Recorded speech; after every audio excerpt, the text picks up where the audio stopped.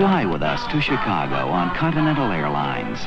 We'll do a little more for you a lot faster to make this the nicest flight you've ever flown. Like we say at Continental Airlines, we really move our tail for you. Dear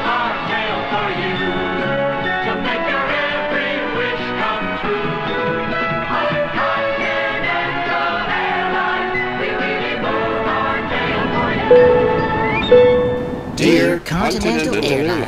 I am disgusted as I write this note to you about a miserable situation sitting here in seat 29E on one of your aircrafts. As you may know, the seat is situated directly across from the lavatory. I'm so close that I can reach out and my left arm can touch the door.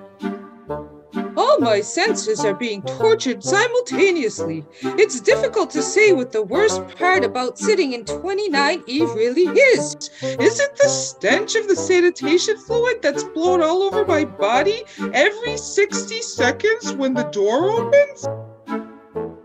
Is it the whoosh of the constant Or is it the passengers' asses that seem to fit into my personal space like a pornographic jigsaw puzzle? I constructed a stink shield by shoving one end of the blanket into the overhead compartment, while effective in blocking at least some of the stench and offering a small bit of privacy.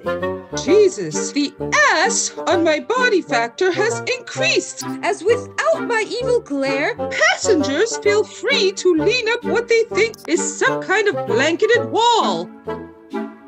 The next ass that touches my shoulder will be the last. I'm picturing a boardroom full of executives giving props to the young, promising engineer that figured out how to squeeze an additional row of seats onto this plane by putting them next to the lavatory. I'd like to flush his head in the toilet, which I'm close enough to touch and taste from my seat. Putting a seat here was a very bad idea. My heavens! I just heard a person groan in there. This sucks. Worst yet is I've paid over $400 for the honor of sitting in this seat. Does your company give refunds? I'd like to go back where I came from and start over.